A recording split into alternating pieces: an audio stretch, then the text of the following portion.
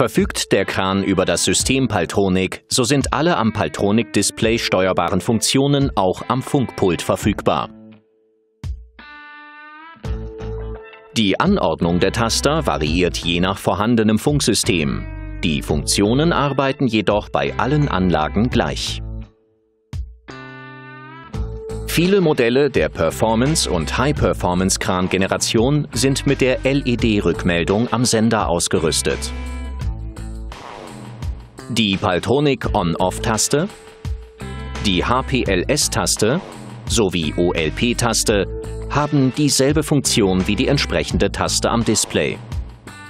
Weiters sind am Display drei zusätzliche Dioden angebracht, welche Informationen über den Schaltzustand bestimmter Kranfunktionen geben.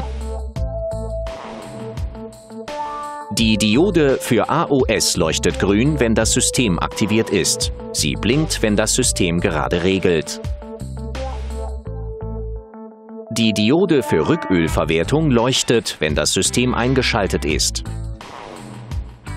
Die Diode für Stützenüberwachung ist aus, wenn der Kran unabgestützt betrieben wird. Sie blinkt, wenn die gerade aktive Kranseite nur teilabgestützt ist und sie leuchtet konstant, wenn diese voll abgestützt ist.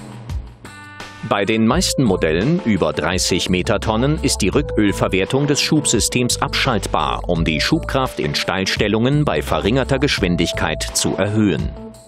Die Rückölverwertung kann mit dem dafür vorgesehenen Taster deaktiviert bzw. wieder aktiviert werden.